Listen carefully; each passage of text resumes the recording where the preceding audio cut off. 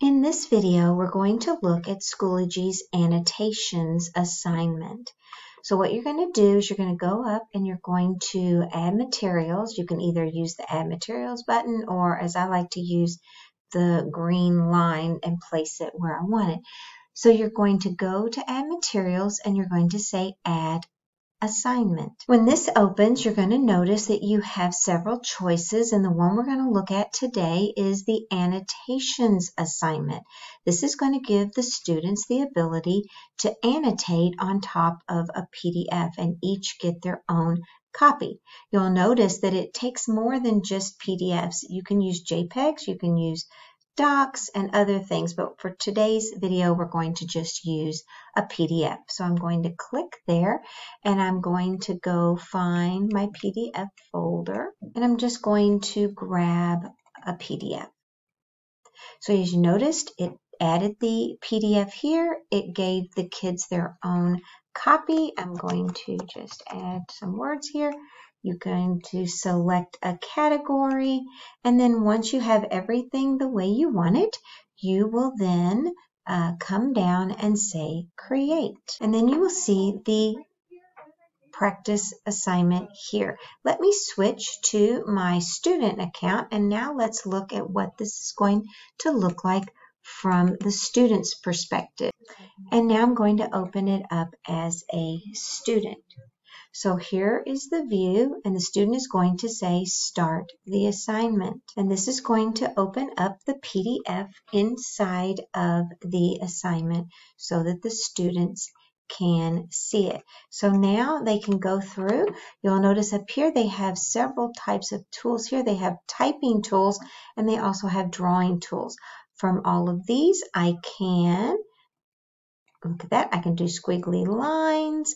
I can strike through, I can underline, that sort of thing. I can add text boxes and type like that. If I need to move the text box, I can click the little hand and oops, let me grab it there and move it around where I would like it to be. So there's lots of different things. They also have the ability to highlight. Okay, they can freehand draw if they would like as well. And they have the ability to change the um, color of the tools and that sort of thing.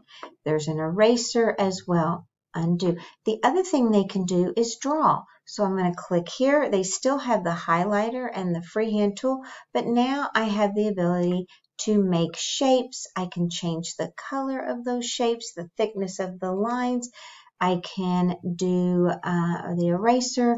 I can also do polylines, arrows, uh, straight lines, arrows, that sort of thing. So lots of different things that the students can now do on a PDF through Schoology. After they finish, they're going to come down here to the very bottom. They're going to say submit. Once they submit, it looks like this. Now, let's say they need to add something to it. They can hit resubmit the assignment. It will open it back up and they can continue working or add something else to the document if they need to. Oh, down here, look, they can clear all and that sort of thing. All right, I'm going to say submit. And now let me switch back to the teacher view and let's look at what the teacher sees through this. Okay, here's the assignment. I'm going to go in. You will notice that it shows me that someone has submitted and I can click it and open it. I still have the ability to grade it. I can add comments in here if I need to uh, and that sort of thing. So now I can see exactly what the student has done. This is a great way for you to get a PDF to your students and allow them to have their own individual copy.